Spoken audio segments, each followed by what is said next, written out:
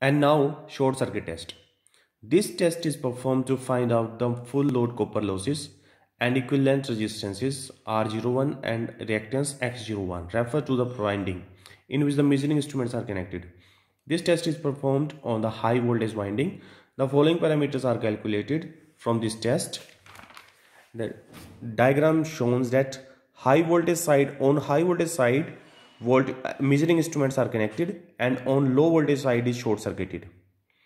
Okay uh, the applied voltage is 5% of the rated voltage and the following parameters are calculated from here. That is WSC is equal to I square I1 square R01 and R01 is equal to WSC by I1 square. That is the equivalent resistance. And Z01 is the total impedance. X01 is the total reactance and cos phi SC is the load power factor and from these we can find out the efficiency also. Thank you